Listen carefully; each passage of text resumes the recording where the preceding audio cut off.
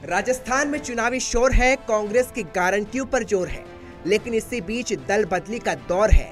कोई बीजेपी का कमल खिला रहा है तो कोई हाथ को मज़बूत कर रहा है। शनिवार को राजस्थान में कांग्रेस को बड़ा झटका लग गया। पूर्व मेयर ज्योति खंडेलवाल समेत पार्टी के तीन सीनियर नेताओं ने बीजेपी का दामन थाम लिया।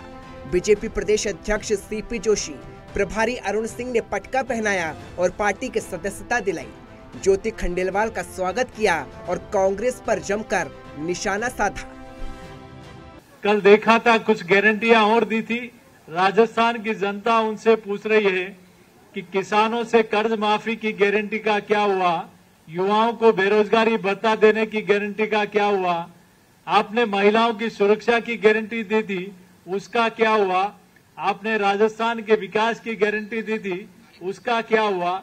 आपने महँगाई रोकने की गारंटी दी थी, उसका क्या हुआ? आज देश भर में आप ही के माध्यम से प्रदेश की जनता देख रही है कि महँगाई में पूरे देश में सिर्फ़ कोई प्रदेश आ गया तो वो राजस्थान है, इसलिए लोगों ने उनकी गारंटी मानना बंद कर दिया। अब गारंटी है तो नरेंद्र मोदी जी की, और वही विश्वास करके ये सब आज भारतीय जनता पार्टी की सदस्यता ग्रहण कर रहे हैं। सरकार में बैठे नुमाइंदे अलग अलग प्रकार से सरकारी अहलकार निर्वाचन को प्रभावित करने की कोशिश कर रहे हैं। ईडी के विरुद्ध में जिस प्रकार पहली बार हलचल देख रहे हैं, उस समय हलचल नहीं, जब कलाम कोचिंग इंस्टीट्यूट के अंदर तार मिले, जब डीपी जारोली जी ने कहा कि मेरे, मेरा कसूर नहीं, ये कसूर ऊपर बैठे लोगों का है। जब बाबूलाल कटारा ने कहा कि मुझे नामजद किया गया था, मैंने एक करोड़ पिछहत्तर लाख रुपए रिश्वत दी ये सारी बातें सिद्ध कर रहे हैं। ईडी जो, जो जिस प्रकार नौजवानों के अरमानों को लूटा गया जब उसका पर्दाफाश कर रहे तो इस प्रकार की भाषा का इस्तेमाल कर रहे हैं। यह बात तो स्पष्ट है और पूरे देश में स्पष्ट है कि गहलोत सरकार जाने वाली है।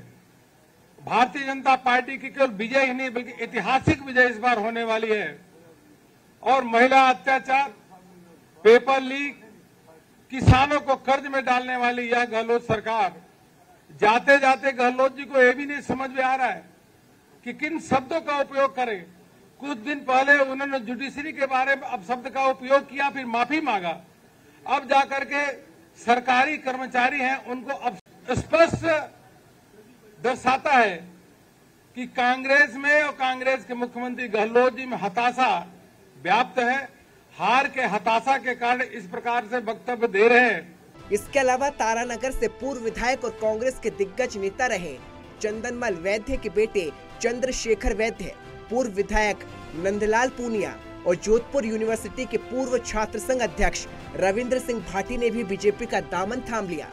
बीजेपी में शामिल होने के बाद ज्योति खंडेलवाल ने कांग्रेस पर कार्यकर्ताओं की अनदेखी का आरोप लगाया और पीएम मोदी की जमकर तारीफ़ की। लगातार निष्ठा पूर्वक पार्टी के कार्यकर्ता जो निष्ठा से पार्टी की मजबूती के लिए काम करते हैं, किसी व्यक्ति विशेष के लिए नहीं, बल्कि पार्टी की मजबूती के लिए काम करते हैं, उन कार्यकर्ताओं की अनदेखी होती है, उन कार्यकर्ताओं की उपेक्षा होती है, उन कार्यकर्ताओं की कोई कदर नहीं होती, बल्कि कहीं ना कहीं अपमान सहन करना पड़ता है। तो ऐसी स्थिति में एक ऐसे मज़बूत नेतृत्व के साथ काम करना चाहती हूँ, जो देश के विकास में अपनी एक बहुत मज़बूत भागीदारी को सुनिश्चित करता है, कार्यकर्ताओं की हौसला अफजाई करता है और देश को आगे बढ़ाने के लिए नरेंद्र मोदी जैसा एक सशक्त और मज़बूत जो है नेतृत्व इस पार्टी के पास है। ज्योति खंडेलवाल जयपुर में कांग्रेस का प्रमुख महिला चेहरा रही है। जयपुर की मेयर रहने के साथ लोकसभा चुनाव लड़ चुकी है। वे सचिन पायलट खेमे में थी किशनपोल सीट से टिकट की दावेदारी की थी। बीजेपी ने अभी किशनपोल और हवा महल से उम्मीदवारों का ऐलान नहीं किया है। ऐसे में कयास लगाए जा रहे हैं कि बीजेपी उन्हें किशन पोल या हवा महल से टिकट दे सकती है। चुनावी सीज़न में नेताओं का दल बदल का दौर लगातार जारी है। हाल ही में प्रियंका गांधी की झुंझुनू की रैली में बीजेपी से नाराज़ नेता विकास चौधरी और धौलपुर से विधायक शोभा रानी कुशवाहा ने कांग्रेस का हाथ थाम लिया था। ऐसे में ज़ाहिर है जब तक दोनों पार्टियाँ सभी 200 सीटों पर उम्मीदवार की घोषणा नहीं कर देती, तब तक ऐसे ही तस्वीरें देखने को मिलती रहेगी। ब्यूरो रिपोर्ट, सच बेधड़क